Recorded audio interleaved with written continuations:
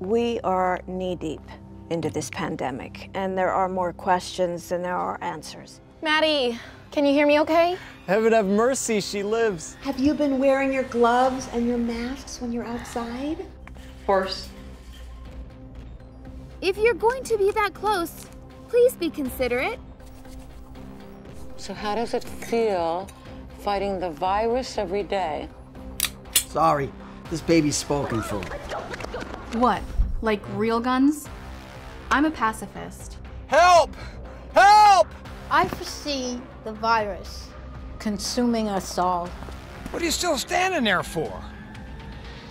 It's not isolated. We're getting reports from around the world. That bad? Huh? Whoa! What in the world is going on out there?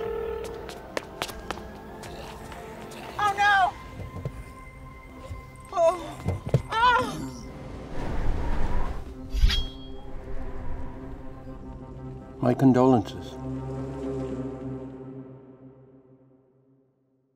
Cautious optimism, at least, Professor?